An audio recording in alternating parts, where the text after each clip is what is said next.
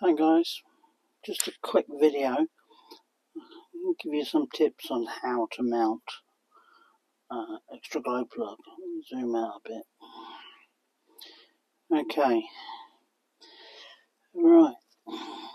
Well, your glow plug is a 10mm thread. That's a 10mm, but it's a 1mm pitch. Yeah, so you're going to need to get yourself some of these. This is a number two, as in cutting ability. As you can see, the edges of it, uh, the beginning edges are quite rounded off, so it does give you the ability to get the thread started.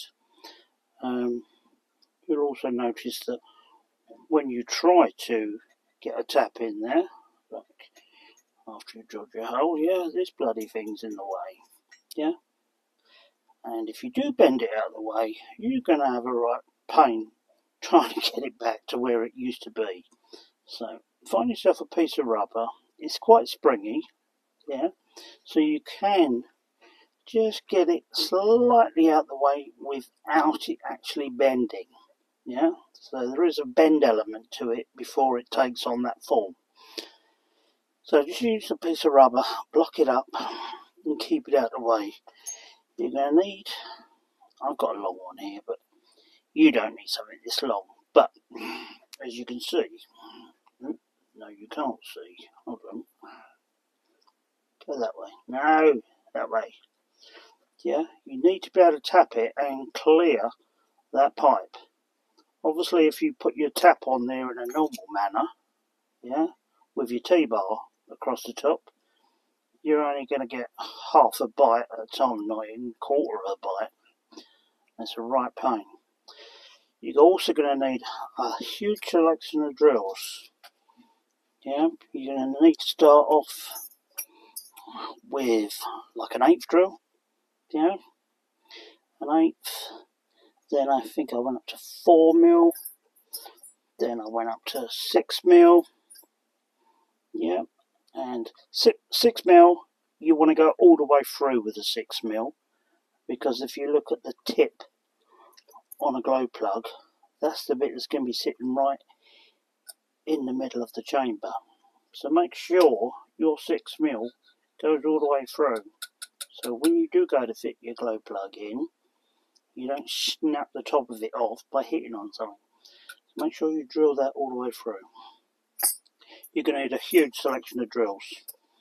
Yeah, and a drill sharpener if you got one. Because, I mean, this one was a monster. The others have been a lot simpler. But this casting, I don't know what it's made of. Some form of cast iron.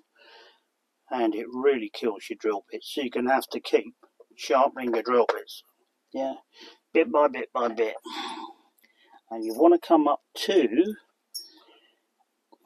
if you can find some old imperial drills, yeah, that measure up around 9.25, let's have a look at this one. Oh, that's right, guys. That's it, going to off the bench, aren't you? Yeah, you want. Okay, that's a 9 mil, yeah. So you want to approach really approaching the 9.2524. Let's check this one. Yeah, okay. 944. I think that's an old Imperial drill. But that's perfect. Absolutely perfect. So you, want, you also want to mark it with a marker pen to start with, obviously. But you want to cut. You don't want to hold. You don't want to go up to 9.5. Yeah? If you go up to 9.5, you're going to hardly have any thread in there at all because you've only got you've only got to wiggle it slightly and the hole's got too big. Yeah, so do it to 9.25, then start your cutting of your thread. Yeah, now where's my old burn chambers? Let me see if I can find them. Oh, I'll put them behind me. Let me show you what you're drilling through and get some light on there. Can you hopefully see if I can find a little pick? Is there a pick there? Okay, yeah, there's a pick. Okay, let me show you in the old. Right, this stainless steel bit, yeah, that you can roll around. Yeah, that is the, the sod that is a claim to claim. That bit in there.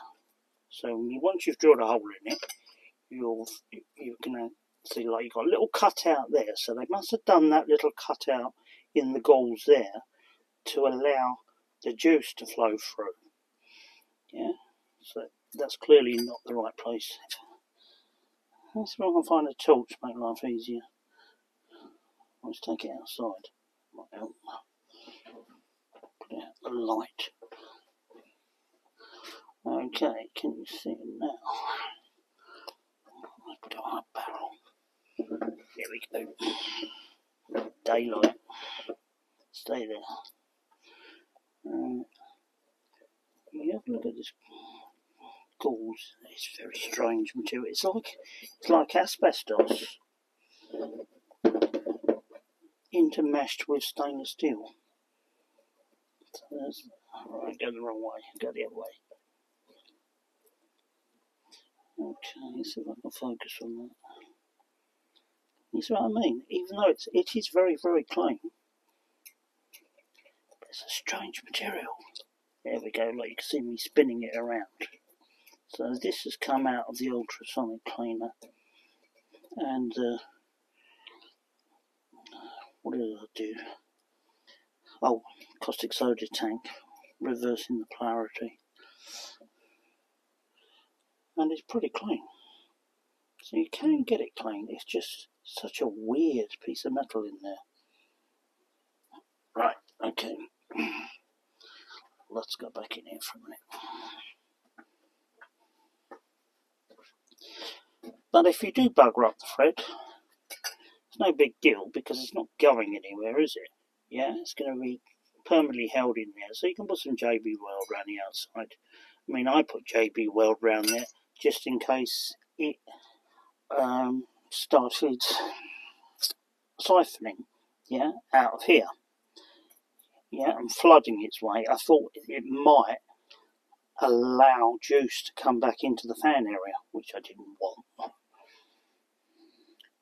Okay, that's about all. So you're going to need one at least five inches long to cut the thread and I'll say it once again it's a 10 millimeter and the thread pitch is 1 mil. So it's a very fine thread. And once you've done it you can just whiz it in. You can see um, this is obviously a new one I'm setting up. I've already drilled a hole in the side of the casing so I can put a rubber grommet there. Then I can come out the side yeah and join it up with the other glow plug that also does the same. That comes out of the fan chamber area, then loops round to your motherboard. Yep. So I'm following the simple principle on that.